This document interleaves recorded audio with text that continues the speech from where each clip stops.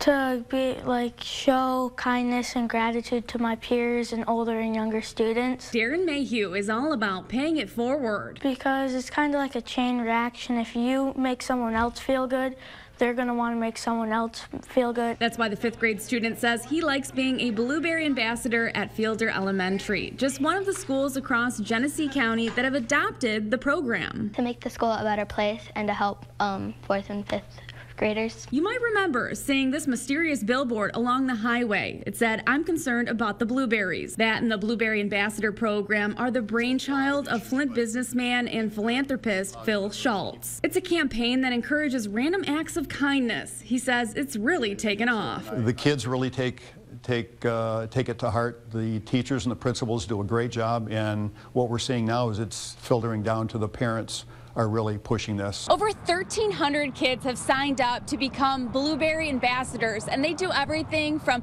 opening up doors to shoveling snow for people that can't do it themselves. Lana Allen says she feels like she's making a difference. You can like make this school like happy and joyful. The school principal of Fielder Elementary says it's all about improving education. Our mission, and they all three of the kids said that, is basically to make Fiedler a better place to learn. As part of the Blueberry program, students recruit other volunteers. Those students then agree to do at least three random acts of kindness. Then they write about it. But Mayhew says this makes him want to do a lot more than three nice things. If you do more and more kind kind things that you'll get more and more of a chance to be recognized for it. Reporting in Flint, Rachel McCrary, WNEM TV 5.